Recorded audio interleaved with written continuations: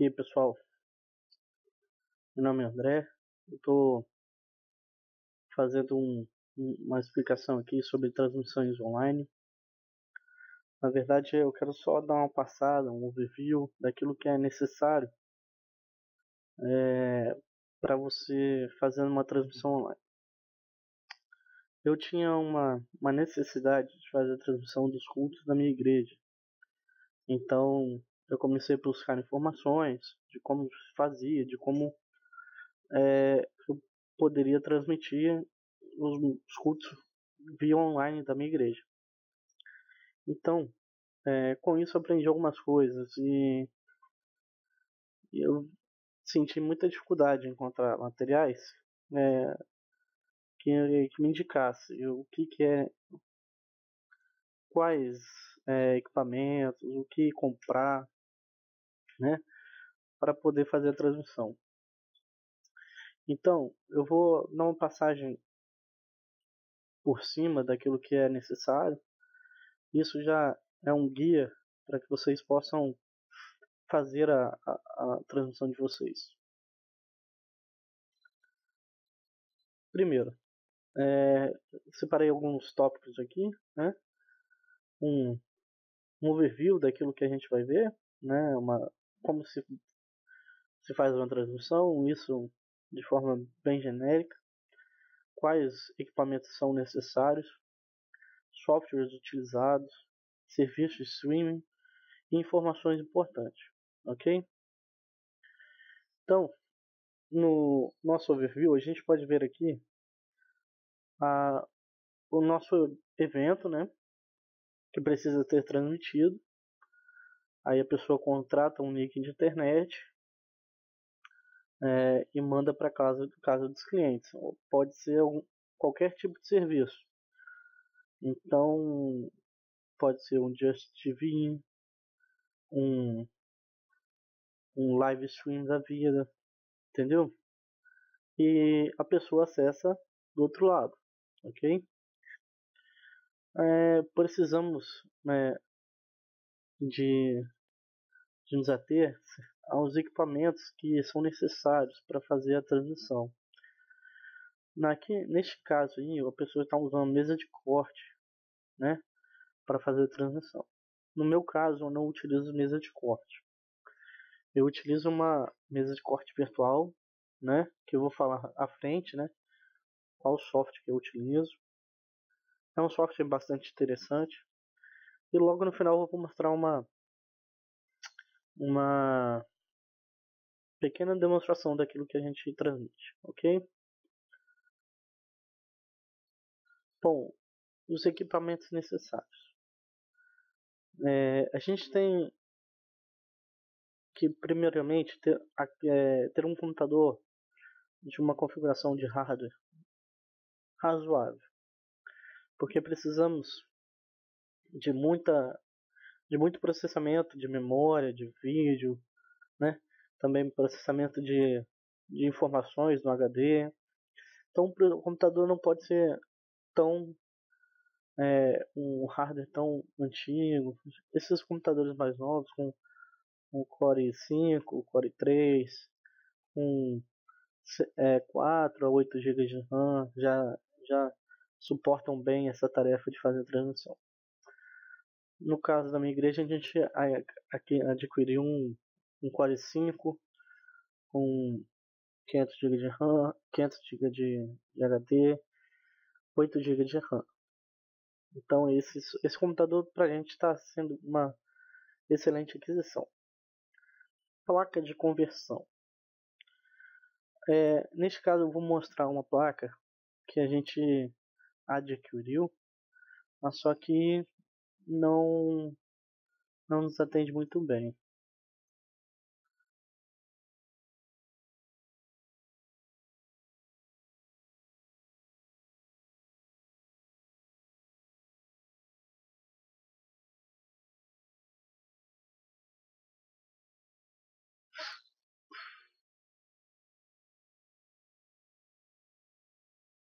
Então, a gente adquiriu essa essa plaquinha chamada Eno TV.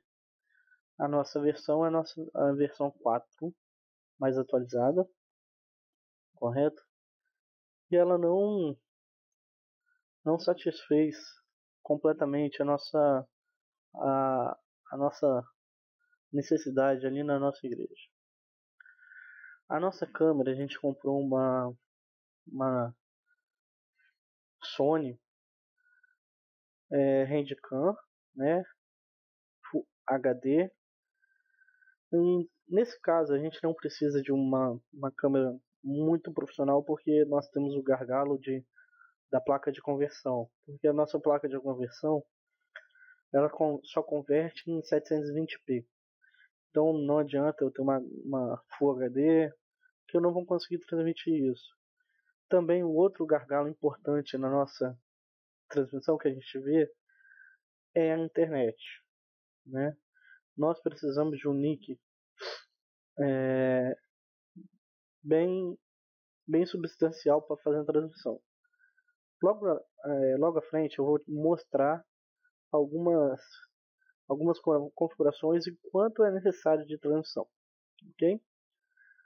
A, a gente utiliza uma mesa de som, né, da Yamaha e, e liga no computador através da placa porta USB e captura o som via USB da, de, da mesa e colocamos o microfone ambiente na, na nossa igreja, ok? Então, é, isso é basicamente o necessário: um computador, uma placa de conversão, câmeras, mesa de som e microfones. Eu vou mostrar uma outra uma outra é, uma outra placa aqui para vocês.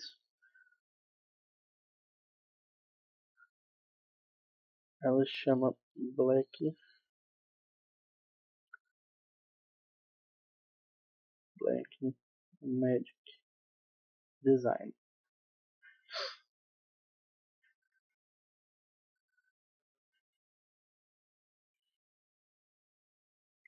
Essa aqui é mais para Thunderbolt, né? Quem usa é, Mac, que tem entrada Thunderbolt, que é extremamente poderosa na transmissão de dados. Nós temos esta, nós temos a intenção de adquirir essa placa, que acredito que já seja uma uma um, uma placa que seja voltada mesmo para para conversão de vídeo, né? A TV Turner é somente você pegar um sinal de, de TV e jogar direto no seu computador, né? Então ela a intenção da TV Turner é transformar um sinal de antena ou até mesmo um sinal AV é, em, em uma televisãozinha no seu computador. É, e esse, é, esse tipo de placa aqui, a Blackmagic, ela é importante para a gente que ela tem qualidade maior, né? Ela suporta USB 3.0, ela tem entrada para para entrada HDMI e, e a nossa conversão fica muito mais é, muito mais apurada. No final, no final do, do, da, do, do vídeo eu vou mostrar um pouco da nossa transmissão. Então, voltando aqui.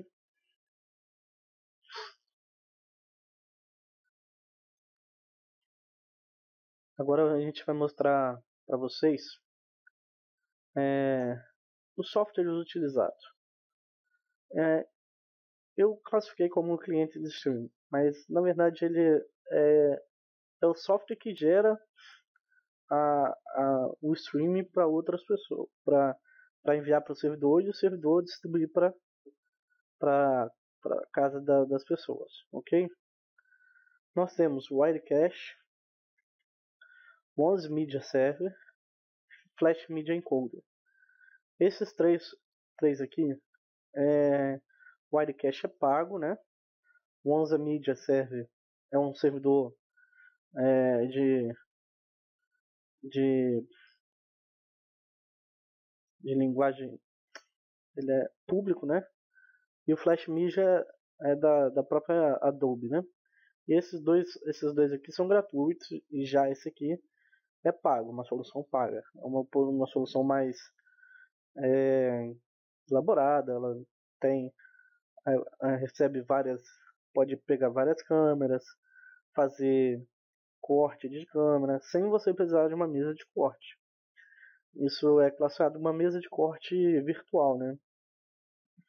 O que nós utilizamos, utilizamos na igreja é esse Wirecast aqui. Ok? Eu já, já criei uma solução usando o Onza Media Server. Uma solução interessante também. Porém, na época não tinha uma não tinha IP fixo para o meu servidor e quem era meu servidor de streaming era a minha própria máquina. E era a minha máquina não não supria a necessidade do, do media server. Ok? Passando para outro, nós temos aqui serviços de streaming. Esse serviço, com certeza, vocês já ouviram falar? Ouvi, ouviram falar, né? YouTube, Justin TV, Ustream, Livestream. É, todos esses serviços são gratuitos, né? E você pode criar uma, uma transmissão nele e fazer a transmissão por este site. O Justin TV, Ustream, Livestream, eles têm aplicativos próprios, né, para você fazer transmissão, ou você pode transmitir via Widecast, ok? O YouTube, ele é uma, ele é uma solução interessante, porque ele, ele nos permite fazer a transmissão, um, é, transmissão ao vivo de eventos. Então, é, a gente resolveu não pagar um servidor de streaming, né? E resolvemos utilizar o YouTube. Esse YouTube serviu a gente de, de forma é, de forma excelente, ok? Mais tarde farei outros vídeos como você pode fazer você é, dando uma instrução como configurar o YouTube, Justin, Ustream, Livestream para fazer transmissão, ok? Lembrando que esse esses slides aqui é só para um overview mesmo da, da transmissão via é, transmissão online. Aqui nós temos informações importantes. Eu retirei isso aqui é, do YouTube. O vídeo bitrate, vídeo bitrate, é a quantidade de, de bits por segundo é, enviado para o servidor. Imagina você, nossa internet é, com 15 megas de download, ela nos fornece uma velocidade de upload de 1.5, ok? 1.5 mega. Então, o nosso vídeo 360p se encaixa nessa na nossa bandwidth, que é a nossa internet. Lógico que a nossa 1000, 1000K mais 128 kbps, totalizando nossa é, nossa nosso bitrate de, de transmissão, correto? Então o que acontece?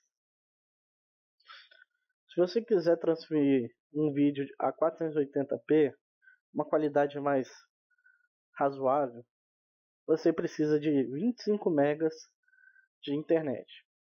No Brasil não é vendido é, o, os é, serviços de, de uploads com é, maiores.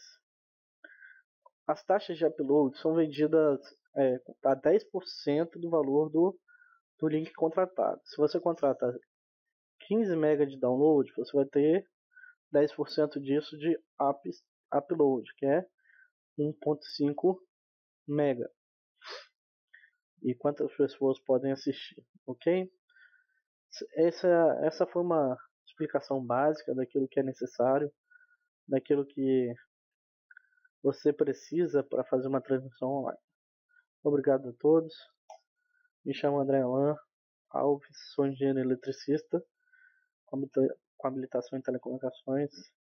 Quem quiser me procurar, pode procurar no Facebook, André Alain SP. Valeu, galera!